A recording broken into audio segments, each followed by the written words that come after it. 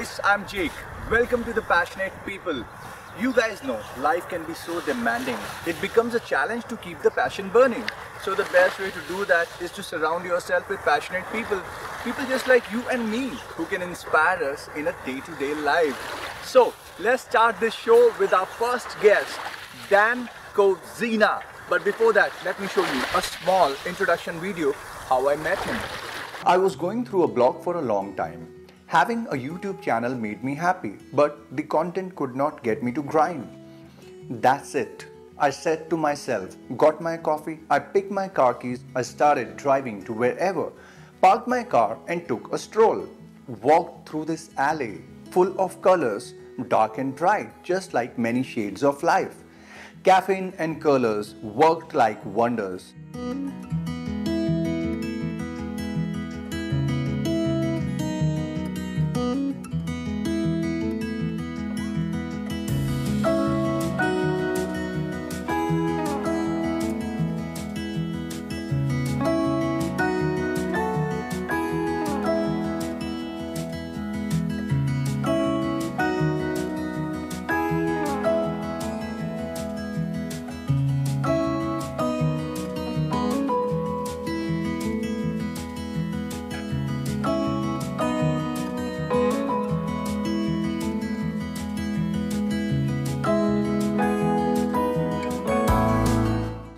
I was inspired, felt like finding this guy, went on Facebook and sent a message. For four days, there was no reply. Finally, I got a reply from Dan. You know, when I looked at his art for the first time on those walls, I imagined him as someone who has a lot of experience and wisdom, someone who might be in his uh, 40s. But to my surprise, he's a very young boy in his early 20s. But let me tell you, no short of wisdom. In fact, I was so impressed and inspired by him. I learned a lot from him. His voice has authority and empathy at the same time. And his words are full of wisdom. Now, I'm on this personal journey to seek answers, to learn and evolve. And ignite my passion. so I started asking some questions to him. Let's have a look. So, Dan, you know, the whole quest to find you and get to know you started with a question in my mind. I saw the mural and I thought, like, what goes in your mind as an artist when you see a blank wall? And what is that first step of creation of this beautiful piece of art? The things that go through my head when I look at an empty space, first thing that I think about is the potential colors and subject matter I can put into the work. How can I make it fun and enjoyable for the community and for everyone that looks at it? How can I put my own flair, my own style in there? And then the first thing I have to do is start brainstorming ideas, picking different themes and uh, elements I'm going to incorporate.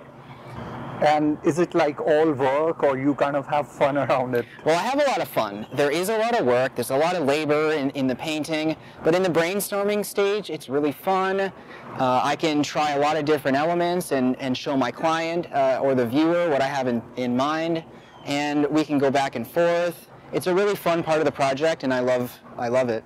This is an elaborate piece of art. So how long does it take for you to complete it?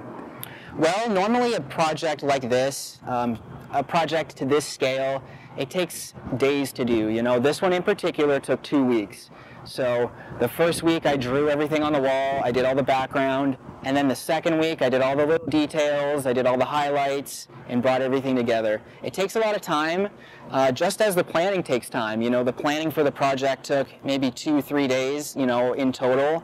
Um, and then to come here, you know, every day, maybe 10 hours a day, you know, it can be a lot of work, but it is it's quite enjoyable experience and it's worth it. What Dan said was very interesting to me. He said that when he looks at a blank wall, he wants to make it fun and enjoyable for anyone who looks at his art. He even adds a lot of joy to brainstorming ideas and he takes his time to finish a masterpiece. He's not in a hurry. There's no rush. This is a big lesson for me because I'm always in a rush to just make a video and post it. At the end of it, it's just a random video, and if it doesn't satisfy my creative self, that's where I was getting the creative block. and his words actually removed that creative block or artist block from my mind. So the keywords are first thing first, have fun, enjoy your work, and others should also have fun and enjoy when they look at your work. Now, the next thing that I asked him was about fears. You know, when you're working, a lot goes wrong. So, how do you respond? Let's have a look. Dan, another thing I want to know is that, you know, being creative and uh, artistic is one thing, but uh, when you are on a project like that, do you have any kind of fears of it going wrong or, you know, things happening? Well, anytime I approach a project, I always know there's going to be challenges, you know, ahead, and I'm going to face some sort of problem along the way. So I never get too worked up when that moment happens. If I make a mistake or uh, I'm, I spill something or a mess or something breaks or I have artist block, you know, those moments do, do always happen. And it's kind of just about working through those moments, persevering, not letting them bring you down. And as long as I have a good attitude in those moments, everything works out. The key word mentioned here by Dan is perseverance persistence to do something despite of difficulties or delay in achieving success. I realized that you know uh, creating a mess, mistakes, things going wrong, it happens to everyone. It's just not me. What a relief it was. Being impatient is the biggest issue when I'm working. If something goes wrong or not according to my plan, I'm unable to improvise. I start throwing tantrums and I just spoil the whole day. But now, if a situation like that arrives, I have a constant reminder. Hold this reaction. I mean, why are we even doing this?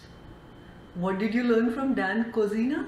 So that was my wife Demi, and she never let me forget this particular lesson because my reaction impacts her the most. So as I mentioned that Dan is a very young boy in his early 20s. So definitely I was curious to find out uh, when it started his art and creativity. Let's get back to the conversation with Dan. So Dan, you know, uh, I feel that this level of creativity it comes after years and years of practice and passion and hard work. So I'm so curious to find out that you know how and when like you started. I mean, is it in your family or is it just you? I do have a I have a very creative family. Um, not necessarily with the arts though. Um, my mother is uh, loves music and she used to play different musical instruments. Uh, my father was an engineer type. Um, he worked for the city. Growing up, my family was very supportive of, of my art or, or creativity. Um, they liked it when I would play music or draw or paint, and they were supportive of those things, and I owe it a lot to, to their support. Um, you don't necessarily have to have um, art in your family. Um, I know my parents were very supportive of art, but you can do it on your own. You can find the creativity within yourself, and you can uh, you can flourish as an artist. Um, I always used to love drawing, and I loved cartoons and comic books, and any creative project I had in school, I loved it. I always excelled, whether it was uh, like painting or even you know drama or acting and all that. I loved music as well and then even tattooing and tattoos, and uh, eventually I, I started tattooing. Um, As a professional? Yep, I started professionally tattooing. Um, before then, though, I did go to college, I did go to art school. Um, but after that, I got a job at a tattoo studio, and from there, I was doing lots of tattoos on my friends, some family. So it all kind of stems from the things that I enjoyed in life and kind of bringing them all together. And painting murals kind of all happened when I started getting more serious about my art and serious about what I wanted to show and how I wanted to express my work and to the size I wanted to do it as well. Um, so it is a definite journey. It takes a lot of time to um, practice all those different skills, but um, it's an enjoyable one, and I've had so much fun along the way. Dan owes a lot to his family, his parents, for his art. And he specifically said that you don't have to be born in a in an artistic family. All you need is the love and support of your family in doing what you love. Now, this is a big message for me, for my kids in future, and all the parents who are watching this. Just support your children. Let them have their own choice. Just support them by all means. you will witness something magical developing and growing in front of your own eyes. We all have seen how passionate is Dan about his artwork, his creativity. I was curious to find out what is his take on life in general. As an artist, what is your philosophy? I've seen you love colors, but in life, what is it? Is is it all colorful or are there shades of gray as well? Well, I think there's a balance. I think there's both dark and there's both light. I try to aim towards the positive, the light, and add lots of color and creativity to all the work that I do because I feel like there's a lot of negativity out there and I do feel like adding color um, it brings a lot of positivity to your attitude and to the community's attitude so I definitely try to improve the way you feel when you look at something I've done. I want you to be happy. I don't want you to take everything so seriously. I want you to get lost in the colors and the complexity of it at the same time. I want positivity to be an overall message in my work, and I want to stick to that. What a beautiful thought he shared with us. He wants you to improve the way you feel when you look at his artwork. Positivity is an overall message in his art. I learned that whatever work you do, it will turn out beautiful if it starts with positive thoughts and feelings. You know, there was uh, so much uh, positive aura around him when we were talking in that alleyway, and I'm sure in the video while watching, you must have also felt it. Now, I'm gonna play a part of the video where I had a little fun conversation with Dan to find out, you know, his lighter side.